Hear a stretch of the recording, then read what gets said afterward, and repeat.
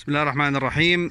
اخواننا النحالين كما نعدكم دائما بأن آه، نصور كل ما هو مفيد إن شاء الله لكم. سنتحدث عن هذه الشجرة التي تشاهدونها الآن. مزهرة بهذا الكثافة هذا اللون الأصفر.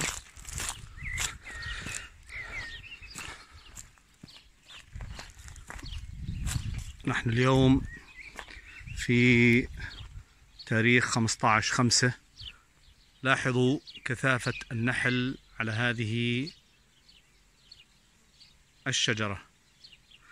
إزهار كثيف رائحة قوية وكنت قد زرت هذه الشجرة صباحا وكان النحل أيضا يجمع منها حبوب اللقاح. والآن إحنا في فترة الظهيرة تقريبا وما زال النحل يزورها بما أن النحل يزور هذه الزهرة في الصباح وفي الظهيرة إذا هي مصدر لحبوب اللقاح ومصدر للرحيق بنفس الوقت. هذه الشجرة هي شجرة البركنسونيا. وهذه الشجرة كنا قد قمنا بتوزيع أشتالها على الإخوة النحالين خلال السنوات الماضية. هذه إحدى النحلات. أحاول أن حتى في ساعات الظهيرة ما زال هنالك إمكانية جمع حبوب اللقاح من هذه الشجرة أيضا. الآن هذه الأشجار مزروعة يبدو كأنها سياج.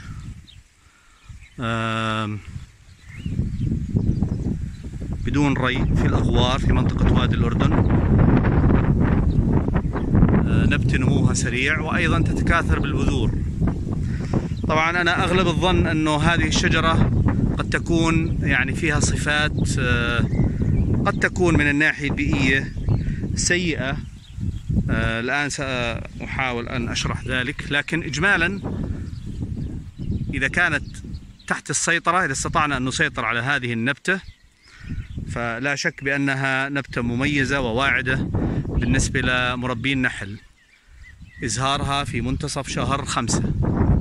بعد انقطاع آه، الحمضيات والربيع وقبل الدخول في موسم الشوكيات آه، المتأخر كما هو الحال بالنسبة للربيض والينبوت والسدر.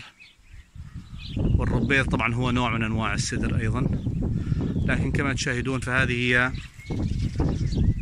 النبتة. أحببت أن أريكم إياها. طبعا ورقتها رفيعة جدا. هذه الورقة. وبسبب هذا الورق الرفيع فإن هذه النبتة تتحمل الجفاف. هذه المنطقة أمطارها لا تتجاوز 300 ملم مطر لكن يضاف إلى ذلك أنه منطقة ذات درجات حرارة مرتفعة جدا أي أن التبخر عالي جدا. حتى أستطيع أن أشاهد نوع من أنواع النحل الطنان أيضا يزور هذه النبتة. فإذا هي نبتة ليست فقط مفيدة للنحل وإنما مفيدة لأنواع أخرى من النحل الطنان وهو أيضا ذو قيمة مهمة جدا في البيئة كملقحات. كما أسلفت فالخوف من هذه الشجرة كما تلاحظون فإن هذه الشجرة هي ربما الأم ولكن هنالك شجرة بجانبها أصبحت جديدة مما يعني أن هذه النبتة لديها القدرة على التكاثر والانتشار لوحدها دون أن يكون هنالك أي نوع من أنواع السيطرة عليها.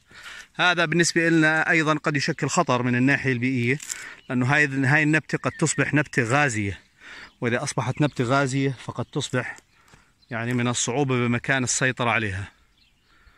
ولكن إذا ما زرعت في مناطق مثل هاي المناطق جافة وحارة وربما لا يوجد الكثير مما هو موجود في هذه المنطقة فلا بأس أن تكون هذه الشجرة قادرة على العيش ضمن هذه الظروف وأن تكون ذات فائدة.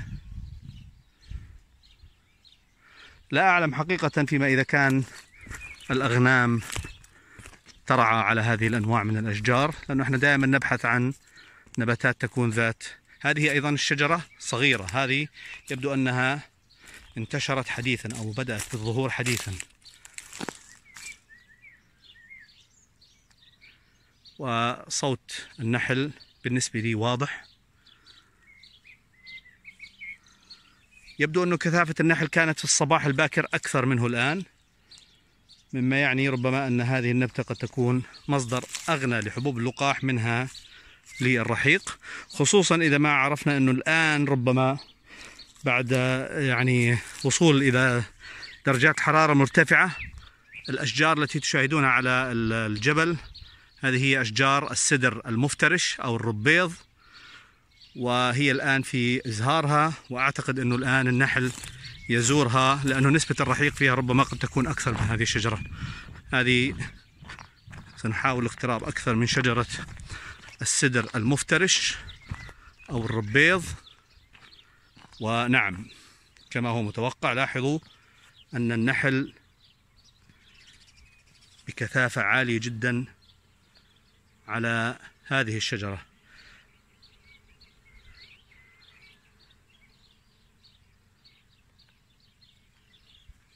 فإذا هنالك تزامن ما بين إزهار البركنسونيا وإزهار السدر المفترش.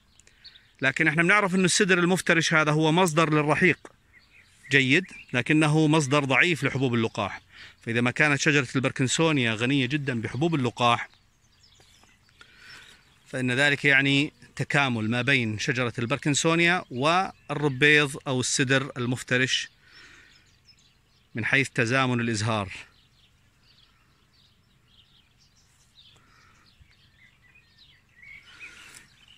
إذا من خلال هذا الفيديو تعرفنا على نوعين من الأشجار.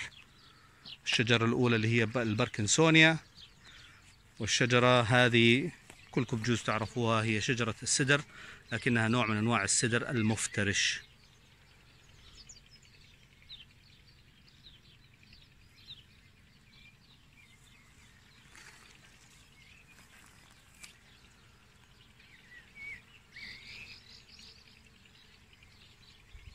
أمنيات التوفيق للجميع. السلام عليكم ورحمة الله وبركاته.